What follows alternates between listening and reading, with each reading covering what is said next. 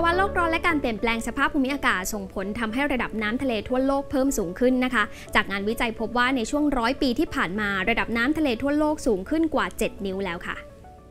จอห์นอิงแลนเดอร์นักสมุทรศาสตร์ชาวอเมริกัน และผู้เชี่ยวชาญเกี่ยวกับระดับน้ำทะเลที่สูงขึ้น และการเปลี่ยนแปลงสภาพภูมิอากาศกล่าวว่า การเพิ่มขึ้นของระดับน้ำทะเลเพียง 7 นิ้ว ส่งผลให้พื้นที่บริเวณชายฝั่งร่นได้ถึง 90 เมตร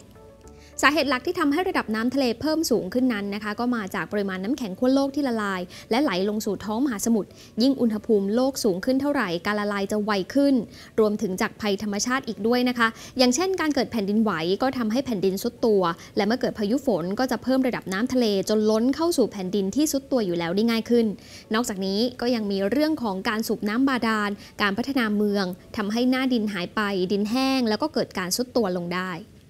มีงานวิจัยพบว่า 5 เมืองที่เสี่ยงจมน้ำเร็วที่สุดในโลก อันดับหนึ่งก็คือจาการ์ตาประเทศอินโดนีเซียค่ะ นักวิทยาศาสตร์เตือนว่าภายในปี 2573 จาการ์ตาจะจมลงใต้ทะเลอย่างถาวร อันดับ 2 คือมะนิลาประเทศฟิลิปปินส์ที่มะนิลาระดับน้ำทะเลสูงขึ้นเฉลี่ย 13.24 มิลิเมตรต่อปี บวกกับแผ่นดินที่ทรุดลงเฉลี่ย 10 เซนติเมตรต่อปี และยังมีปัญหาเรื่องของการสูบน้ำบาดาลด้วย อันดับที่ 3 คือโฮจิมินห์ประเทศเวียดนาม สาเหตุหลักมาจากการขยายตัวของเมือง และการสูบน้ำใต้ดินขึ้นมาใช้ทำให้เกิดปัญหาดินทรุดตัวโฮจิมินห์นั้นนะคะมักเกิดน้ำท่วมง่ายเมื่อฝนตกลงมาค่ะ พบว่าพื้นดินที่โฮจิมินห์ทรุดตัวลงปีละ 2-3เซนติเมตร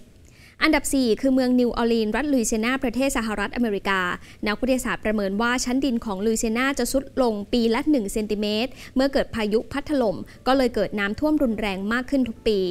และอันดับ 5 ก็คือกรุงเทพประเทศไทยค่ะ ดินของกรุงเทพเป็นดินอ่อน เจอกับปัญหาการขยายตัวของเมืองและการสูบน้ำบาดาล ก็ยิ่งทำให้พื้นดินซุดตัวไวขึ้น และมีความเสี่ยงที่จะจมน้ำในอนาคตปัญหาระดับน้ำทะเลที่เพิ่มสูงขึ้นนี้ แน่นอนว่าจะส่งผลกระทบต่อประชากรอีกกว่า 600 ล้านคนทั่วโลกที่อาศัยอยู่ในพื้นที่เสี่ยง ไม่เพียงแต่จะส่งผลกระทบต่อวิถีชีวิตเท่านั้นนะคะ ยังส่งผลต่อระบบนิเวศ ก่อให้เกิดความเสียหายทางเศรษฐกิจและโครงสร้างพื้นฐานมากมายด้วยค่ะ ขอบพระคุณที่ติดตามรับชม TNN Earth นะคะ